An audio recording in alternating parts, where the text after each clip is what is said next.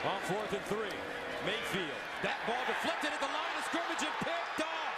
Ohio State, huge turnover. Jerome Baker down the sideline. The Ohio State Buckeyes with the touchdown. Jalyn Holmes tipping the ball at the line of scrimmage.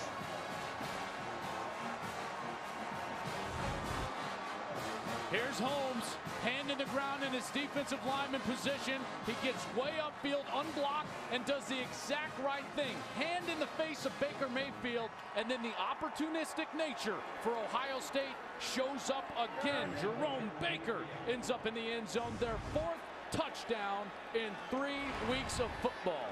Phenomenal defense.